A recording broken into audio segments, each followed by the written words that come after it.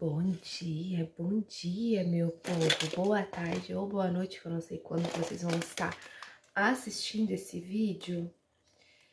Vou já começar aqui fazendo um café para me tomar. Agora são sete e meia da manhã de domingo. Fazendo esse cafezinho aqui. Para esse domingo eu só tenho... Eu só tenho dois bolos para decorar. Eu já deixei recheado ontem à noite. Eu só tenho que decorar. Um vai ser com o tema da Minnie, vermelho. E o outro vai ser um bolinho estilo, acho que anos 80, alguma coisa assim, com uma escrita em cima. Bem simplinho. Um tem 2 kg e o outro tem 1,5 kg. Aí eu vou começar a decorar agora. Ah, que delícia. Como eu tô sozinha em casa, só tá eu e o Samuca. E o Samuca não toma café, né? Meu filho menor não toma café. Aí eu nem passei café. Fiz um nesse café pra mim. E vou já decorar aqui os bolos, que daí depois eu fico livre. Eu acho que hoje provavelmente eu não vou abrir o delivery. Não sei, vou ver. Mas eu acho que não vou abrir não. Acho que eu vou tirar o dia pra descansar mesmo. Ficar mais tranquila com as crianças. Daqui a pouco eu vou buscar o meu, o meu menino mais velho na minha mãe. E acho que vou tirar o dia pra eles. Não, não tô querendo abrir o delivery, não. Se abrir, vai ser só a partir de umas 4 horas da tarde até umas 9 horas da noite, assim, pouca coisa, sabe? E vender só o que eu tenho pronto também. E amanhã, segunda-feira, daí tem produção, gente. Tem que produzir os salgados, porque como vocês viram no vlog anterior, eu tive uma encomenda de 700 salgados. Aí tinha sobrado, acho que uns 50 salgados. Eu fritei alguns pra nós, tem bem pouquinho ali, tipo, não tem 50 salgado no freezer. Então eu tenho que fazer uma produção bem grande de salgado. E é isso, né, gente? Glória a Deus pelas encomendas. Agora eu vou posicionar vocês aqui num ângulo que dê de ver e vou iniciar as decorações. Deixa eu pegar minha touquinha.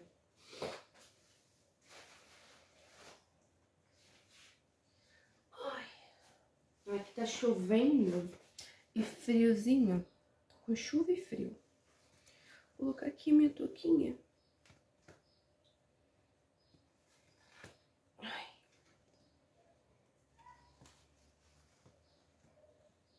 Amarrei o cabelo muito em cima. Vai ficar ruim de colocar. Eu gosto de tapar tudo aqui, ó, porque se eu deixo ela aqui, começa a doer tudo a orelha. O, o elástico parece que quer cortar a orelha.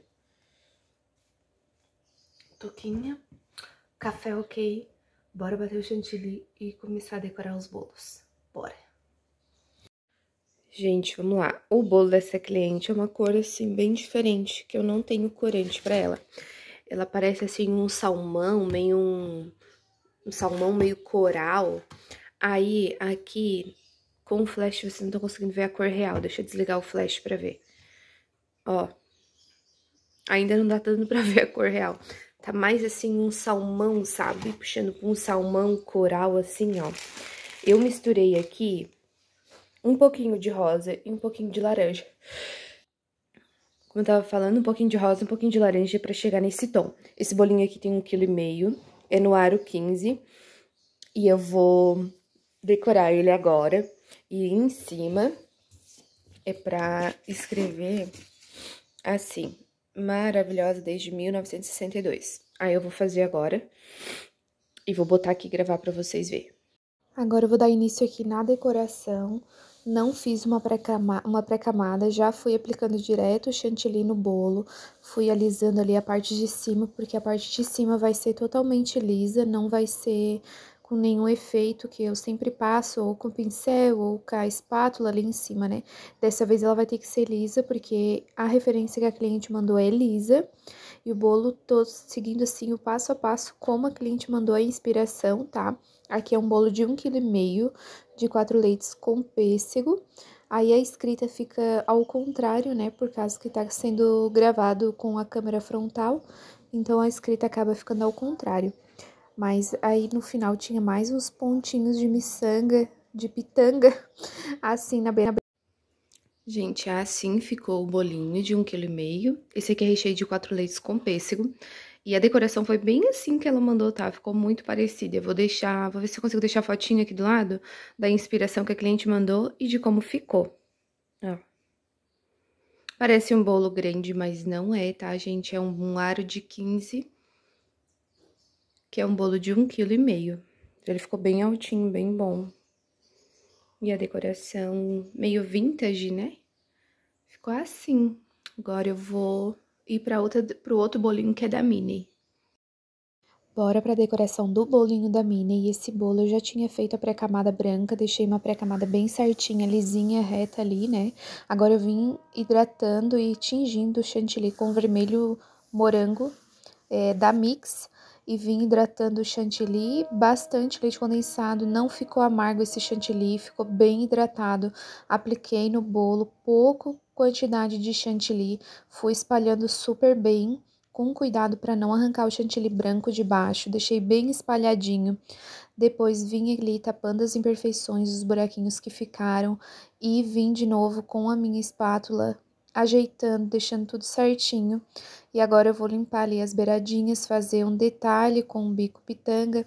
Em cima eu utilizei a colher para fazer o detalhe e Aqui nesse bolo não deu de eu gravar colocando o topper, só vou mostrar o resultado pronto já para vocês. Bolinho pronto. Como vocês viram, esse aqui eu fiz a pré-camada branca e botei uma camada mais fina de vermelho. Hidratei bem o chantilly, esse chantilly tá normal, não tá igual o outro, né, que o chantilly tava com problema. Aí aqui o bolinho. Esse bolo já é uma referência de um bolo que tem no meu perfil. Aí a mamãe mandou e só trocamos o nome e a idade, mas o restante...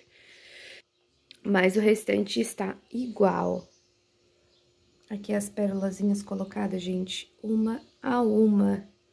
Essas pérolazinhas. Eu uso a pinça para ir colocando as pérolas. Ó, dá pra ver que o chantilly tá bem hidratado. E assim ficou um bolinho. Esse aqui tem o recheio de brigadeiro com morango e uma camada de nata com amendoim. Se essa combinação fica boa, não sei, mas foi a combinação que a cliente escolheu. Agora eu vou ali bater uma fotinho, mandar para ela que já está prontinho para retirada. Por aqui já assei duas formas de brownie, tem que cortar Aí fiz aqui o creme de chocolate preto do delivery e o creme de chocolate branco. Eu fiz três leite condensado para seis creme de leite, 250 gramas de chocolate preto e a mesma coisa aqui no chocolate branco. Seis leite condensado, quer dizer, seis creme de leite, 3 leite condensado, 250 gramas de chocolate branco. E aqui eu tenho já o meu frango temperadinho, ainda tá um pouco congelado, que eu tirei agora pra fazer... Quero fazer umas coxinhas. Vou botar fazer uma massa de coxinha aqui, enquanto isso meu frango termina de descongelar pra mim modelar as coxinhas. Gente, agora a gravação vai estar tá sem pé, porque eu gravei lá pro meu Insta de casa é uma receitinha de bolo de banana e resolvi trazer aqui para vocês também, caso vocês queiram fazer aí na casa de vocês, tanto para vender quanto para vocês comerem, tomarem um cafezinho da tarde. Se vocês são assim como nós aqui de casa que adoramos um bolinho de banana, vou deixar aqui a receitinha para vocês. No caramelo eu usei uma xícara e meia de açúcar e meia xícara de água. Untei a forma, botei as bananas, depois o caramelo por cima Agora vamos para a massa. Na massa eu coloquei dois ovos, dei uma batidinha ali para dissolver um pouquinho. Coloquei uma xícara bem cheia de açúcar, duas colheres de margarina. Aí eu misturo bem até ficar bem homogêneo ali, sem nenhum vestício de margarina empelotada, né? Depois eu coloco uma xícara de leite em temperatura ambiente e duas xícaras de farinha de trigo. Esse bolo fica uma massa bem firme e sem contar no sabor dessa massa, fica muito gostoso. Lembra, assim, uma massinha de cuca. Por último, eu coloco uma tampinha de fermento, misturo bem. E agora eu vou despejar essa mistura na minha forma.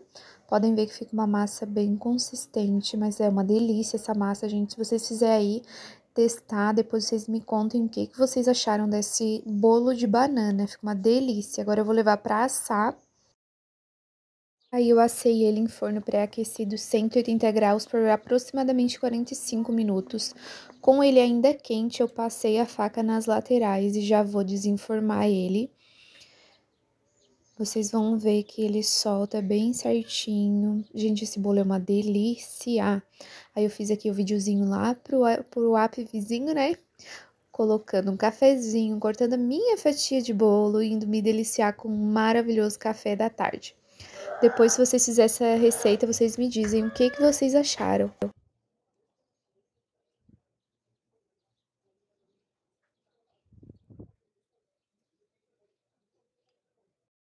Gente, olha só, acabou de sair três copos da felicidade. Esse aqui é duplo ninho com brownie. Esse aqui é ninho com creme de avelã. E esse daqui é duo brownie, que é chocolate branco, chocolate preto e creme de avelã. Todos eles sem fruta, somente o creme e o brownie. Esse, esse aqui é o quinto pedido da cliente na loja. Ela pediu três copos.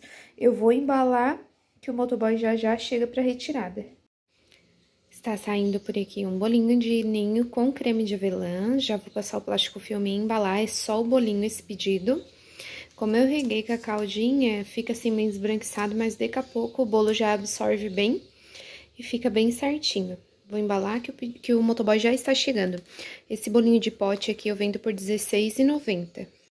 Saindo aqui mais um copinho da felicidade. Esse aqui é o brownie morango. Opa, achei que tinha embalado bem. Não fechou bem, agora fechou. Passar o plástico filme, embalar. Esse aqui é o pedido número 11 dessa cliente aqui na nossa loja. Gente, acabei de fazer aqui a massa para coxinha. E já aproveitei e fiz duas massas aqui de risoles e bolinha de queijo. Essa massa branca eu uso para risoles de frango, presunto e queijo e para bolinha de queijo também. Tá bem macia, ó, bem, bem boa de trabalhar. Vou começar a modelar aqui os risoles e vou mostrar pra vocês mais ou menos como eu faço. Aqui, eu já deixei aqui cortadinho, certinho, o queijo com orégano pra bolinha de queijo e aqui o presunto e queijo pro risoles de presunto e queijo. Eu deixo aqui cobertinho até eu utilizar, né? O que sobrar eu congelo. E aqui tem o meu frango desfiado, temperado, que eu também deixo cobertinho. Conforme eu for utilizando, eu vou tapando e o que sobra eu congelo. Agora eu vou botar vocês aqui, vou posicionar vocês aqui na mesa pra começar a modelar aqui o risoles. Vou mostrar pra vocês como é que eu faço, que sempre tem dúvida de como eu modelo meus risoles, tá? Uma massa eu vou botar aqui no plástico filme, porque eu não vou modelar as duas na, na mesma hora, né? Então, pra não ressecar, essa daqui eu vou deixar emplastificada certinho no plástico filme e vou começar a mexer com essa daqui. Ai, caiu vocês aqui. O ângulo não tá muito bom, mas é só pra focar mais aqui mesmo, que eu estou sem meu tripé aqui na cozinha agora. Então, vamos lá. Eu modelo assim, gente, com o meu rolo. Eu abro aqui um pedaço.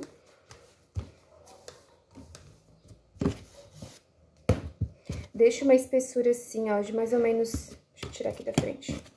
Uma espessura assim de mais ou menos um centímetro, assim, ó. Não muito grossa, mas também não fina demais.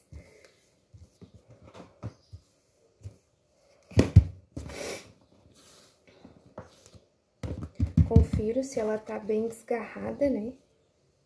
Pra não ficar agarrada ali na mesa na hora que eu modelar. Aí, eu vou fazer aqui de frango. Vou pegar aqui o meu frango. E eu vou fazendo montinhos aqui com o meu frango, que vai ficar no meio do risoles, né? Então, aqui no meio da massa, deixo um pedaço pra cá, um pedaço pra cá, e venho botando aqui o frango.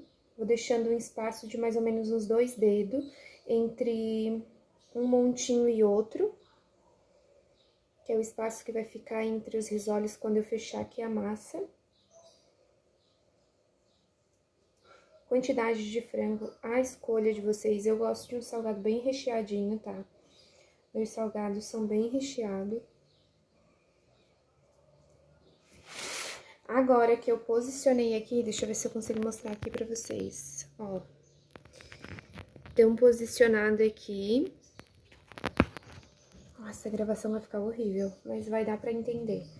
Aí, eu venho dobrando a massa e vou marcando aqui aonde tá o frango, pra mim saber aonde cortar. Ó. Posicionei, marquei todo.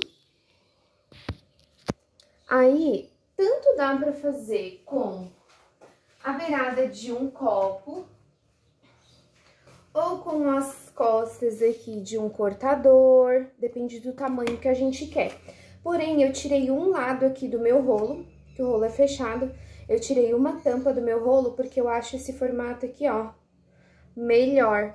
Ele é menorzinho e gordinho, eu gosto desse formato. Aí, eu venho com as costas aqui do meu rolo e vou cortando. Ó, aí se fica uma aberturinha, eu só dou uma pressionada. E assim fica o meu risoles. Aí, venho fazendo aqui nele todo. Sempre olho se ficou bem fechadinho, pra não correr riscos de ficar nenhuma abertura, né? Principalmente depois na hora de fritar, né? Senão acaba entrando gordura no salgado e a gente perde todo o salgado, né? Ó.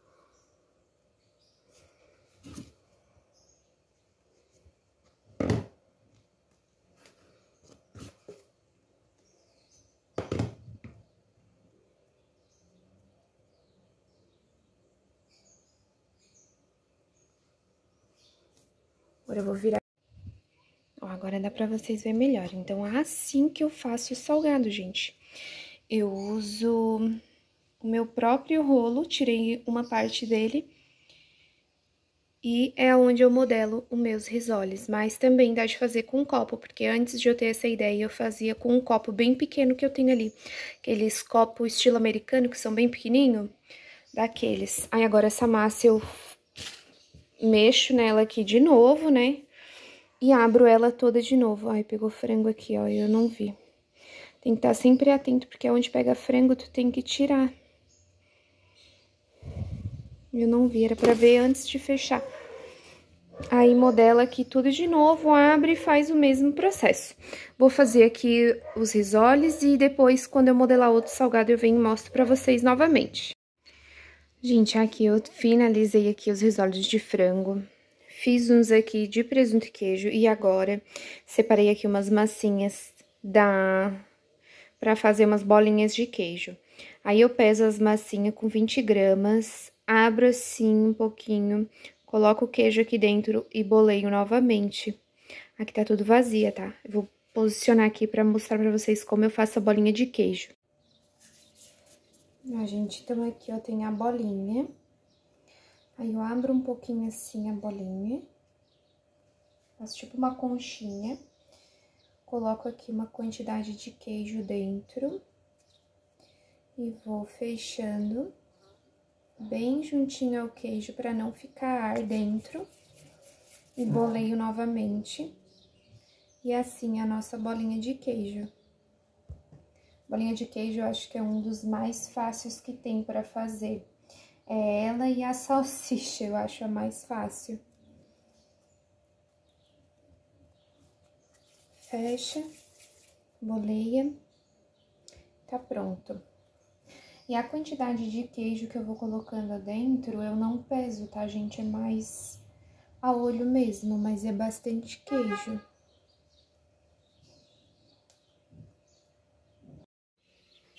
Gente, aqui eu finalizei, ó, os risoles, as bolinhas de queijo. Aqui são os risoles de frango. E aqui tá os risoles de presunto e queijo. Agora eu vou mostrar pra vocês como é que eu faço pra diferenciar o de frango do de presunto e queijo. Então, aqui, ó, eu vou pegando com as costas da faca e vou pressionando essa parte de cima e vai ficando assim, ó. Assim eu consigo diferenciar um sabor do outro. Gente, eu finalizei as coxinhas, coloquei já aqui dentro do freezer e acabei não mostrando pra vocês, mas finalizei as coxinhas também. Aqui tá os risoles, bolinha de queijo.